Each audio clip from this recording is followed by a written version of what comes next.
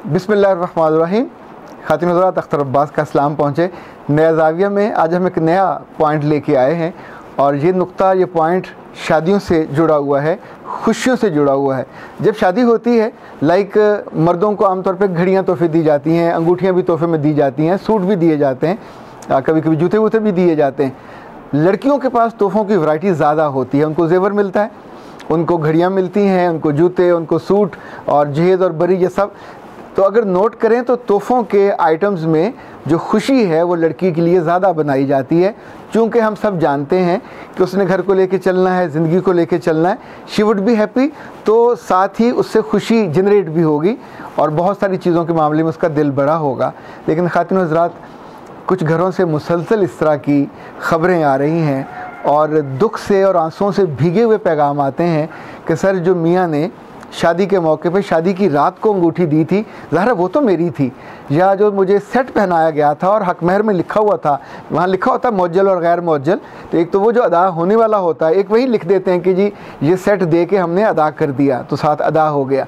इसी तौर पर बच्चियों ने यह बताया कि साल साल दो दो साल हमारी शादियों को गुजर गए हैं तो बीच में कभी मियाँ पे आसानी आई तो उसने कोई अंगूठी ले दी या कोई ब्रेसलेट ले दिया तो अब हुआ ये कि दो तीन साल गुजरने के बाद अचानक वो सारी चीज़ें वहाँ से गायब होगी जहाँ पड़ी हुई थी।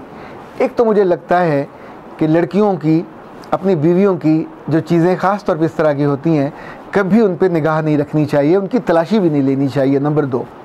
और तीसरी बात यह है कि कभी उनकी इजाज़त के बिना उसको इस्तेमाल नहीं करना चाहिए। नंबर एक, उन पर निगाह नहीं रखनी चाहिए। नंबर दो उनको, उनकी मर्ज़ी के बिना नहीं लेना चाहिए। और नंबर तीन, उनकी मर्ज़ी के बिना किसी को देना भी बिल्कुल नहीं चाहिए। तीनों, यानी अगर आप मुझे इजाज़त दें तो मैं तो सब सच्ची बात है, छोटे से गुनाह के ज़मर में शुमार करूँगा। इसलिए कि ज़िंदगी में आदमी बड़ा हो या छोटा, जब तोहफ़ा दे देता है तो तोहफे की वापसी नहीं होती। यानी हमारी रिवायत में कहा जाता है, किसी ने अगर तोहफ़ा वापस लिया तो ऐसा जैसे अपना थूका वो चाटा। यानी ये इंसल्टिंग माना जाता है। बच्चे को दिया हो, बड़े को दिया हो इवन जब तोहफ़ा दे दिया तो इट्स ओवर अब ये कहानी ख़त्म हो गई है। अब उस पर आपका इस्तेकाक नहीं रहा। वो गाड़ी थी, वो बाइक थी, वो कोई चीज़ भी थी, अब अब जिताने वाले भी नहीं हैं।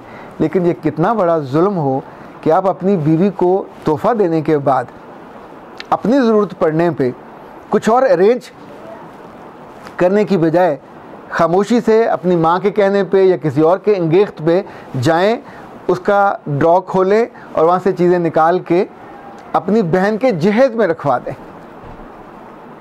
ये जुल्म जब उस बच्ची को पता चलता है, शादी तो उसी घर में होती है और उस घर की वो भाभी होती है तो आप सोचिए, उस वक्त वो एक जैसे जलता हुआ भामड़ होता है, उस पर बैठी क्या दुआएँ दे रही होगी इस शादी को? यानी जिस घर में बदुआओं से आगाज़ आप करो, आप लड़की को नहीं रोक सकते। आपके पास कोई ऐसा बटन नहीं है कि आपने उसको दबा दिया तो पंखा आहिस्ता हो गया, अब चलना बंद हो गया। ये इंसानी जज्बात का मामला है। ये उसकी मलकियत की चीज़ें थी। जैसे अपनी बेटियों के आने पे बाज़ माएँ ये जुल्म करती हैं कि बहुओं के कपड़े उठा के दे देती हैं। ये बहुत नादानी की बात है। ये छोटे दिल की बात है। ये अपनी बहुओं को तंग करने और उनके दिल से अपने लिए दुआओं की जो आखिरी रमक है, वो भी ज़ाया कर देने के मुतरदफ़ है। आपके बेटे ने लेके दिया, बिस्मिल्लाह, आपका बेटा है। तो बेटा तो ज़िंदा है बाबा, उससे कहो, अपनी बहन को और ले दे। जिसने उसको लेके दिया, वो भी उसका रिश्ता है, ये भी उसका रिश्ता है। तो उसके भी लेके दे। एक का हक मार के दूसरे को देना, ये कहाँ की दानशमंदी या अक्लमंदी होगी? नंबर एक। देखिए, ये तो मैं नॉर्मल हालात की बात कर रहा हूँ।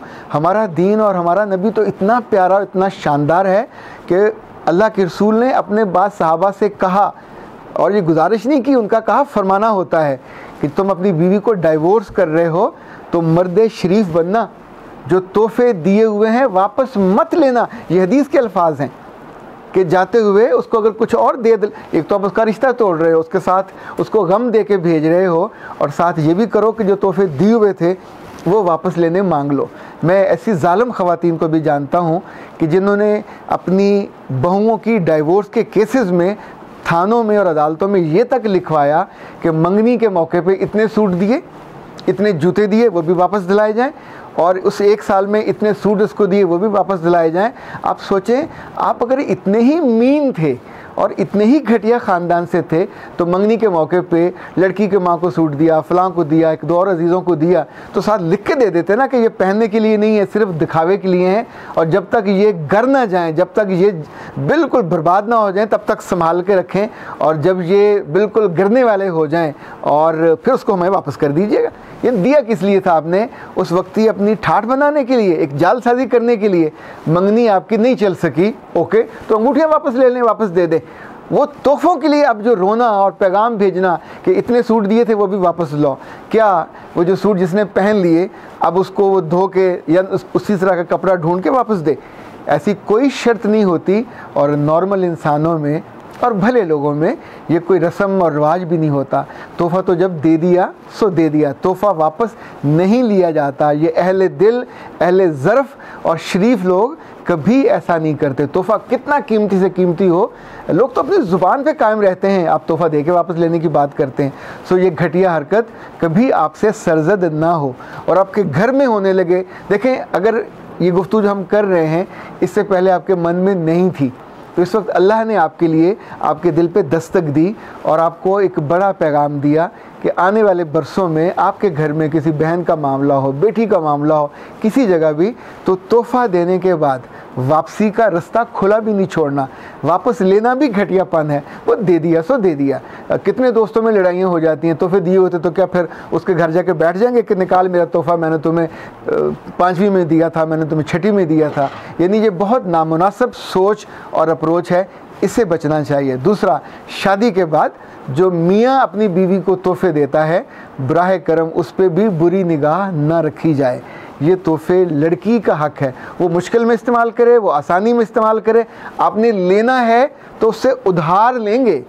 आपने लेना है तो उसको बताइए कि मैं इस वक्त अफोर्ड नहीं कर सकता आई इन ट्रबल तो इतने अरसे के बाद मैं तुमको वापस कर दूँगा। ये जो जेवर लिया है, ये वापस कर दूँगा, या कोई और चीज़ें वापस कर दूँगा। तो जबर के साथ आप वो ले के बच्चियाँ आमतौर पर ये जो जितना जेवर माँ से मिला होता है, बाप से मिला होता है, ये अपने घर बनाने में खर्च करती हैं। बेटों की तालीम पे खर्च करती हैं, बेटियों की तालीम पे खर्च करती हैं, उनकी शादियों पे खर्च करती हैं। अपनी अम्मा को देने नहीं जाती। और बेशक अपनी अम्मा को दे दें तो भी उनका हक है। ये उनकी चीज़ है। बेशक वो नहीं देती, पर ये उनका हक है। उनका इस्तेकाक है और ये इस्तेकाक मजरू नहीं करना चाहिए।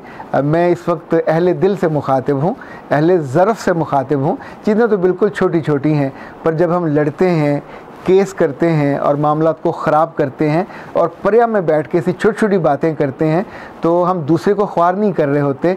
इनफेक्ट अपने ही ख़ानदान का और अपने ही नाम का और अपनी ही तालीमत का, उसका जो महल होता है, उसको ज़मी बोस कर रहे होते हैं। बता रहे होते हैं कि हम असल में अंदर से कितने थुड़ दिले हैं और कितनी छोटी छोटी बातों पर हम रोते। देखें, ऐसे लोगों के साथ तो रिश्ता चल भी नहीं सकता, किसी का भी नहीं चल सकता। कोई बिल्कुल अंधा गूँगा हो कि जिस पर कोई जज्बात ना हो, जिसके एहसास ना हों और जिसके साथ आप चीज़ें देते रहें और लेते रहें तो ये तो बच्चों के साथ भी नहीं हो सकता।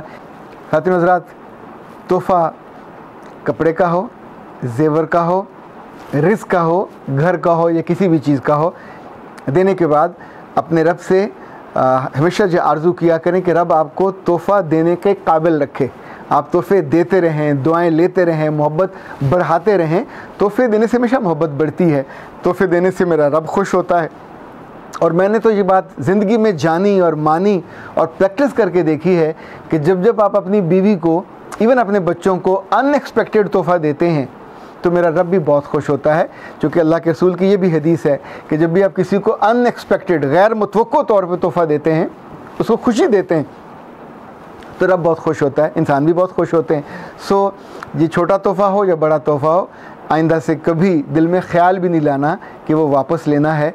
बिकॉज़ ये हमने जाना आज कि तोहफ़ा खुशी है, तोहफ़ा भी एक रिज़्क है, तोहफ़ा आँखों की रोशनी है, तोहफ़ा दिल का सुरूर है और किसी के दिल के नूर को और सुरूर को यूँ फिर जबरन वापस लेना चाहिए, ना उसकी खुशी को और ज़िंदगी को कम करना चाहिए, जबकि वो आप ही का हिस्सा हो।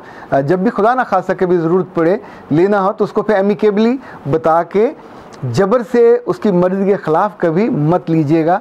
मुफ़्त में ना खुशी भी मिलेगी और समटाइम बुरे जुमले और बुरे लफ्ज़ और बुरी दुआएँ भी सुनने को मिलती हैं। मेरा रब आप सबको ज़िंदगी में हमेशा देते रहने के काबिल बनाए। अपने अजीज़ों को, गैर अजीज़ों को, दोस्तों को और बच्चों को और हमेशा ये खुशियाँ आपके साथ रहें कि आप देने वाले हो। अख्तर अब्बास को नया जाविये से इजाज़त दीजिए। अस्सलाम वालेकुम वरहमतुल्लाह